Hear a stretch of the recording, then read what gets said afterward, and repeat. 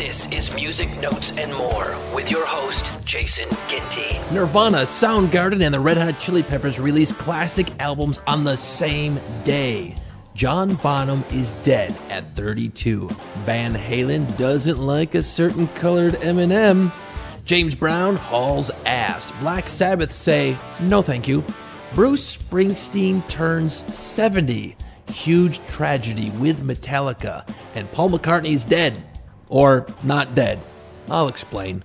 Well, we got a lot to cover this week. Now, be sure to subscribe to this podcast and tell your friends all about it. Look, here's what's going on. I'm really trying to find interesting stories or facts that most people don't know, or I'm at least trying to find the interesting angles on popular stories. Either way, I hope it's interesting and I do appreciate you listening. Comments are always welcome. Just leave them wherever you listen to this podcast. A lot to cover for the week of September 23rd. It was this week in 1980 that tragedy struck as John Bonzo Bonham of Led Zeppelin died of asphyxiation on his own vomit due to consumption of way too much booze. Now, the group decided to disband when they determined that their drummer could not be replaced. Bonzo was found dead at Jimmy Page's house of what was described as asphyxiation after inhaling his own vomit after excessive vodka consumption, 40 shots of it in four hours. Now, John Bonham began teaching himself to play the drums at age five. He was making uh, primitive drum kits out of empty coffee containers, pots and pans, and other assorted kitchenware. That's pretty common for a lot of kids. But he got his real first snare drum at age 10 and his first full drum kit at age 15. Now, by 16 years of age, he was playing in his first semi professional band. And while his band was recording a demo, the sound engineer told John Bonham that he played way too loud and was unrecordable. Years later, John Bonham sent the sound engineer a gold record from Led Zeppelin with a note saying, Hey, thanks for your advice. That's so great. Uh, Vanilla Fudge's drummer, Carmine Appice, became friends with John Bonham and introduced him to double bass drum kits, incorporating larger 26 inch Ludwig bass drums, which at the time were only being used in marching bands. Now, look, if you're a drum dork, you know way more about this than I do, but I'm just trying to get a point across. The larger drums uh, gave him the opportunity to increase his volume on stage. Now, he was a hell of a drummer, but he also liked to party a little bit. He once drove a motorcycle, which was a gift for his 25th birthday, through the hallways of the Continental Hyatt House uh, Hotel in LA, where the band had rented out multiple floors for their entourage. Now, Keith Moon from The Who and Keith Richards from The Stones were also visiting, and they dropped TVs out of the windows of the same hotel, which acquired the nickname the Riot House in LA. There's no denying how great he was on the drums. In fact, Charlie Watts uh, of the Rolling Stones says, look, he was the best. Chad Smith of the Red Hot Chili Peppers says, To me, hands down, John Bonham was the best rock drummer ever. And Dave Grohl of the Foo Fighters and Nirvana says, Look, I think he will forever be the greatest drummer of all time. Happy birthday this week to Bruce Springsteen, born this week in 1949. Yes, do the math on your fingers and toes. That makes him 70 years of age. He sold more than 65 million albums here in the United States and more than 120 million albums worldwide. He still tours, pulling off three hour shows. Yes, at 70 years of age. So, how's he do it? Well, he's been following a simple fitness program for the last 30 years. What he does is he alternates running four to six miles with strength training every other day. He also watches what he eats and is mostly vegetarian. And hard to believe, he's really never done a whole lot of drugs. So, considering the rock and roll lifestyle, has never really gotten a hold of him. And that's how he stays in such great shape at 70. 1991. Holy crap, did that bring some great music to the world. In fact, Nirvana's album Nevermind was released, entering the charts at number 144 on its first week.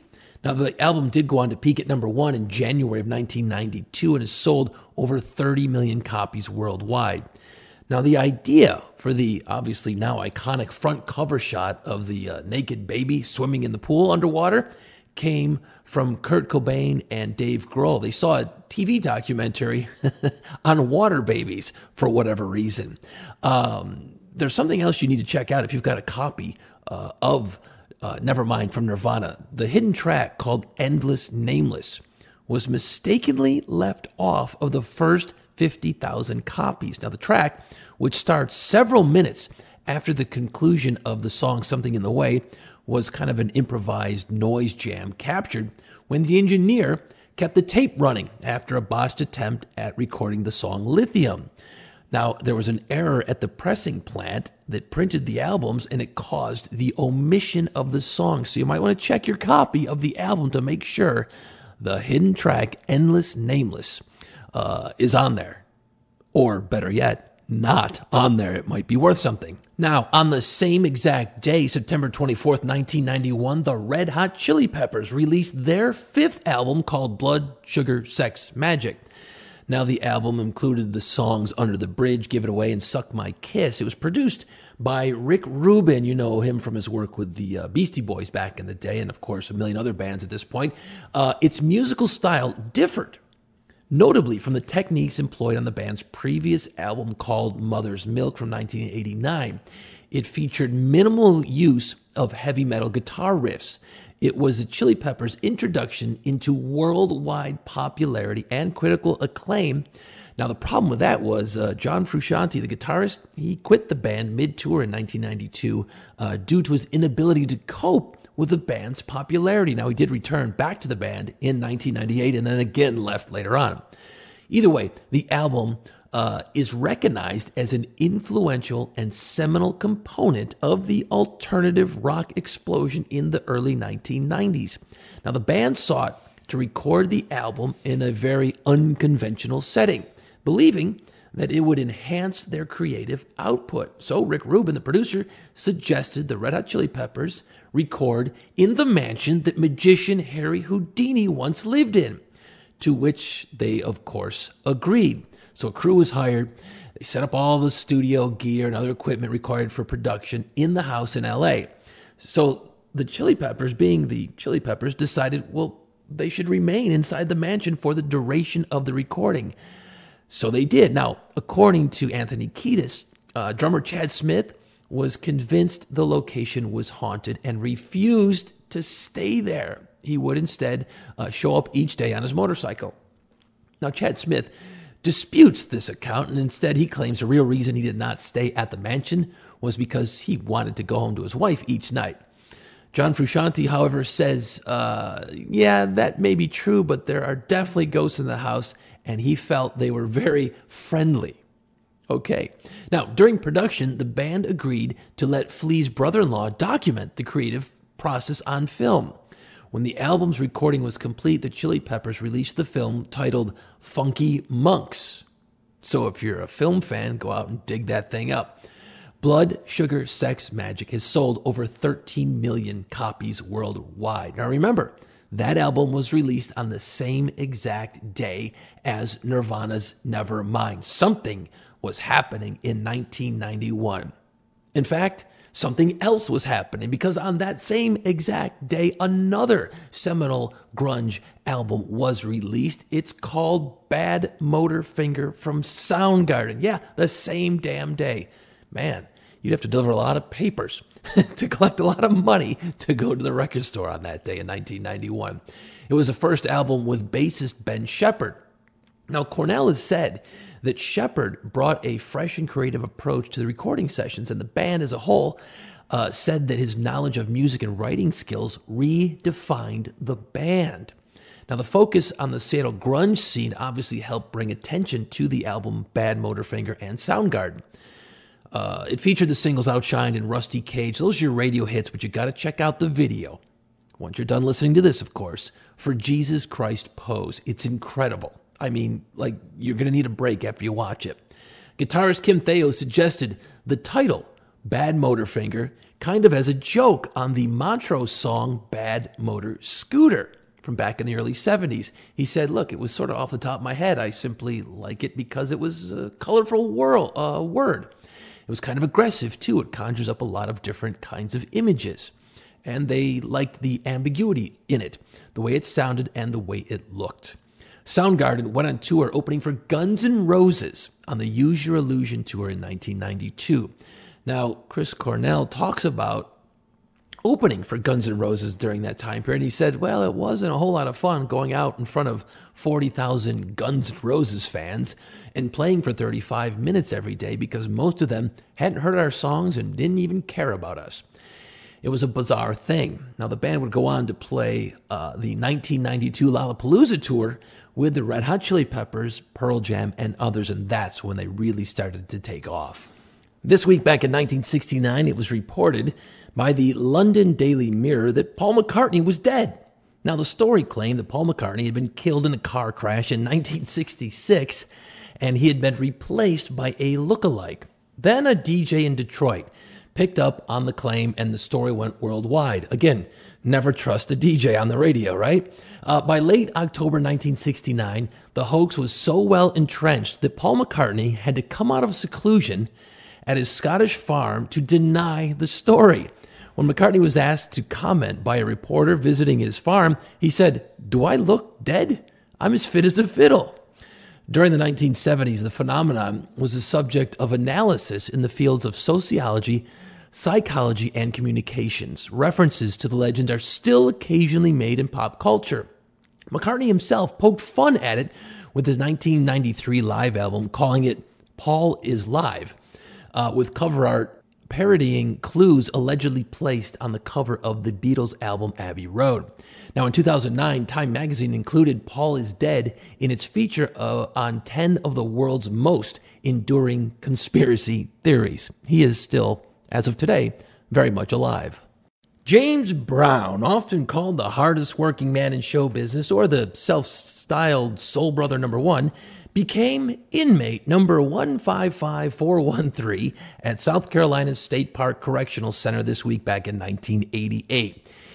You see, he was to serve a six year sentence for carrying a deadly weapon at a public gathering, attempting to flee the police, and driving under the influence of drugs. He had developed a bit of a PCP habit in the late 80s and began acting very erratic in many of his interviews. Things went bad one day when he reportedly stormed into the insurance company next door to his office, waving a shotgun and complaining that strangers were using his bathroom. Now, when the police arrived, Brown took off and led them on a high speed chase through Georgia and South Carolina. He tried to ram police cars with his pickup truck. The cops shot out two of his tires and he continued to drive on the metal rims for six more miles. He did end up getting caught, of course, and went to jail. He was freed in 1991 after serving half of his six year sentence.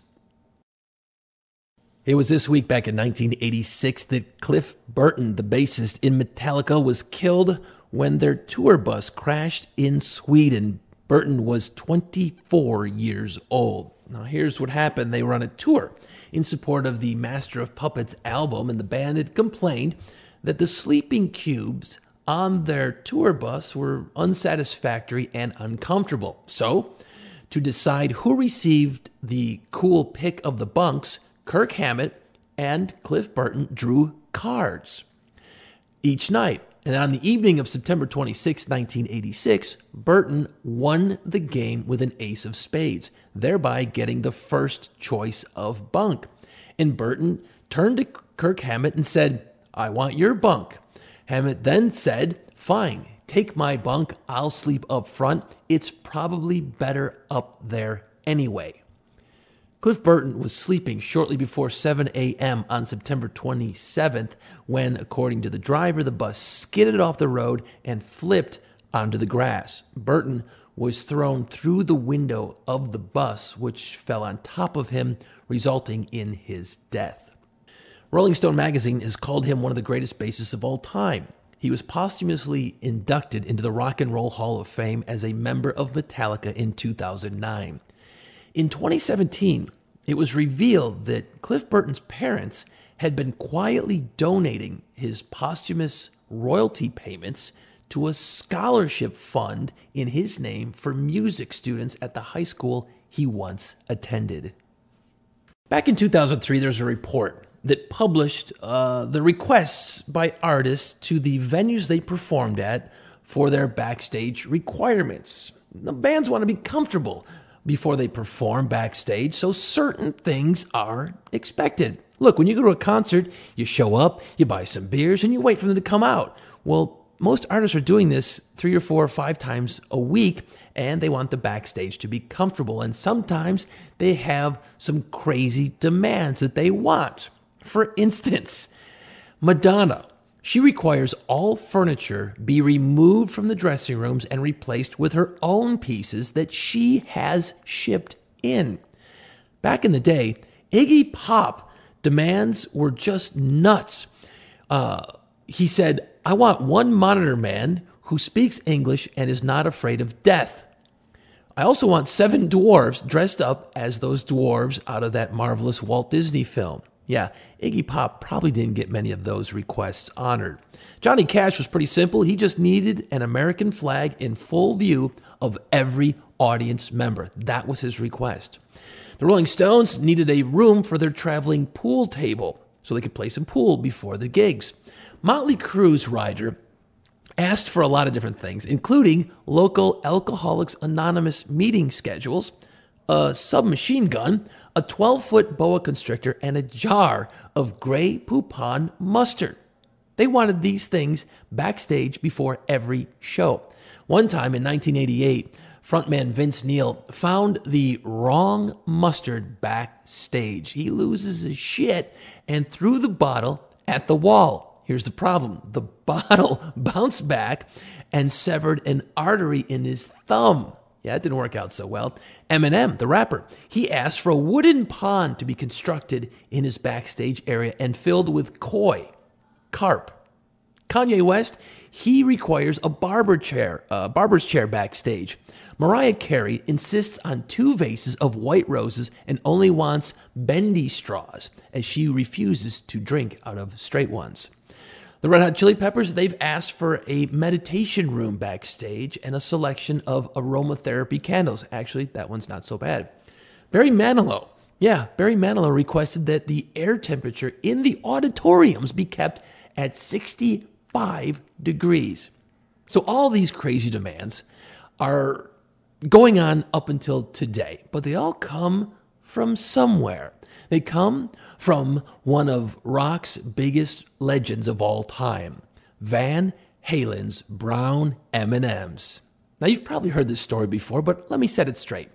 You see, Van Halen demanded that there be bowls of M&Ms, the delicious candy, in their dressing rooms and backstage. But here's the twist: they wanted all the brown M&Ms taken out of all the bowls. They didn't want to see one brown M&M either one, the dark one or the light one, in those bowls. Now, that legend turned out to be actually true. You see, in the 1980s, Van Halen demanded via a clause that was embedded deep into their tour rider that no brown colored M&Ms be allowed backstage, right? Most people thought that the band was just being a bunch of pompous asses because they were so huge and major rock stars at that time. Well, the seemingly ludicrous request was actually a shrewd business and safety move. Right.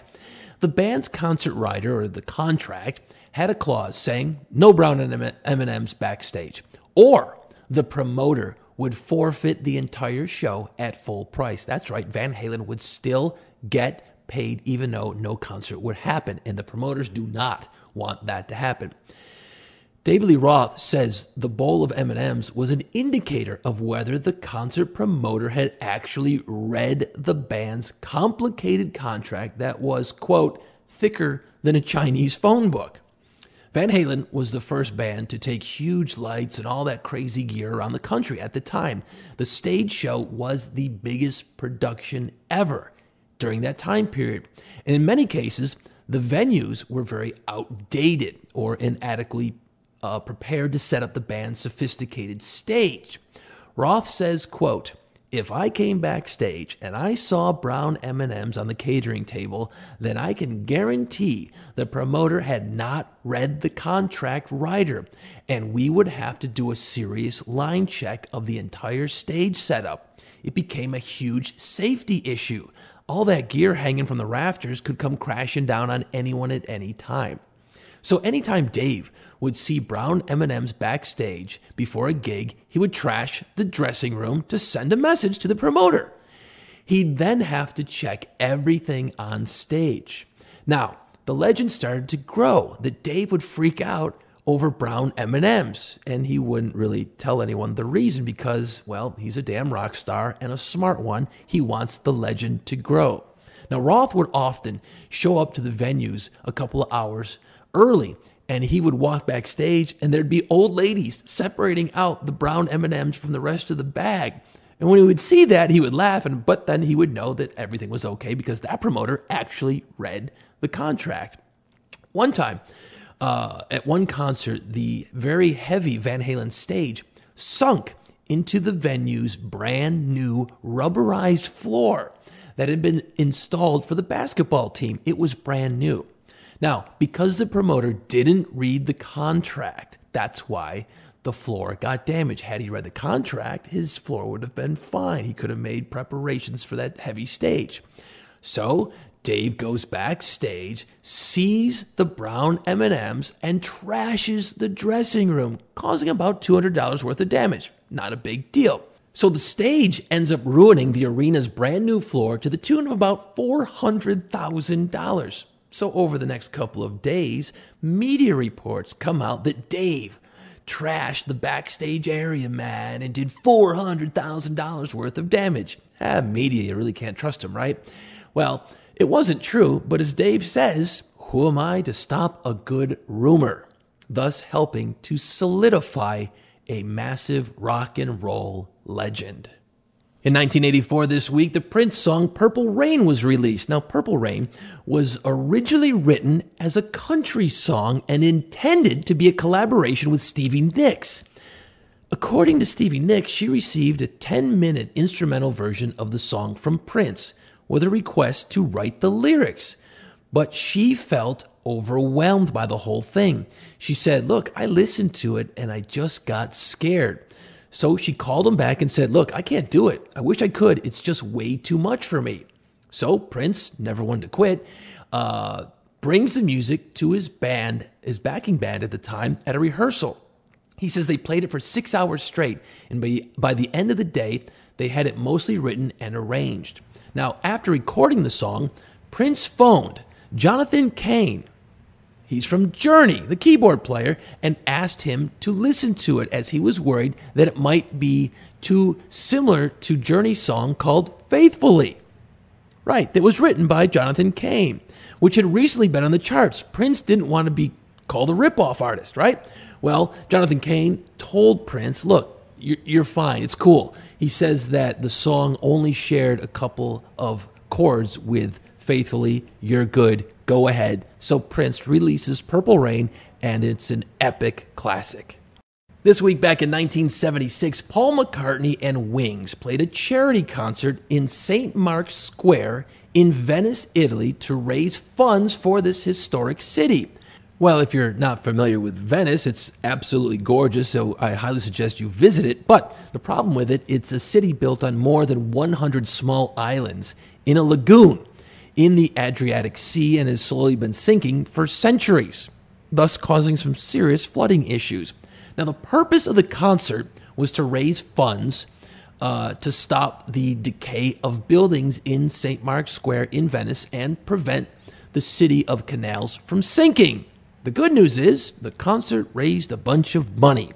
The bad news is the weight of the 25,000 people that showed up and all of the very heavy equipment used by the band caused even more damage to the square. Black Sabbath became eligible for the Rock and Roll Hall of Fame in 1995. They were finally nominated in 2000, which you're thinking, cool, makes sense, right? They've sold 75,000 some odd albums and have inspired just about everybody on earth who's ever picked up a guitar.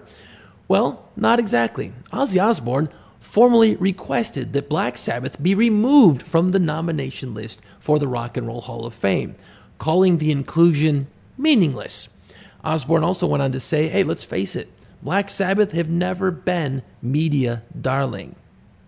We are a people's band, and that suits us just fine. Well, they must have had a change of heart because they were inducted into the Rock and Roll Hall of Fame in 2006. Music Notes and More is written, recorded, and hacked together by me, Jason Ginty. Be sure to subscribe to this podcast and check out other episodes that are packed with incredible information about your favorite bands. New episodes released every Friday. Be sure to follow me on Twitter, Facebook, and Instagram. And if you've got comments, do not hesitate to leave them right here where you're listening to this podcast.